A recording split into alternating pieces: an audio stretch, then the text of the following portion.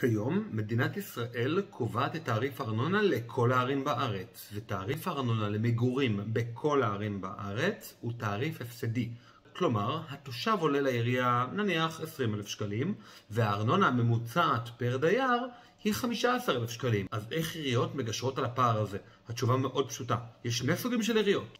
עיריות במרכז, כמו תל אביב ודומיה, לוקחות את הכסף מהארנונה העסקית, שלא דורשות הרבה הוצאת כספים של העירייה, וככה מממנות את תושבי העיר, ועיריות מסוג אחר, לדוגמה ירושלים, בית שמש, אשקלון וכו' וכו', שבעצם מקבלות מענקים מהמדינה, שנקראים מענקי איזון, וככה פותרות את המשבר התקציבי התמידי שהן נמצאות בו מדי שנה ושנה.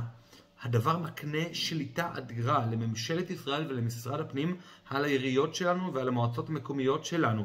קרן הארנונה היא דבר בכיוון הנכון, היא תקרב אותנו לאיזון תקציבי ללא צורך במענקי איזון הולכים וחוזרים. שאלתם את עצמכם איך כל הדבר הזה התחיל, שבעצם המדינה שולטת על העיריות ולא העיריות מממנות את עצמן על פי תעריפים שהם יקבעו, הדבר התחיל באינפלציה של שנת 1985 אז התחיל פיקוח המחירים על העיריות שלנו, ונלקחה פיסה חשובה מהחירות האישית שלנו, בעצם לבחור באיזה עיר אנחנו רוצים לגור, בעיר יותר ליברלית, בעיר שלוקחת פחות מיסים, יותר מיסים, בעיר שנותנת יותר שירותים חברתיים, וזו אחת הבעיות החמורות שחייבים לתקן.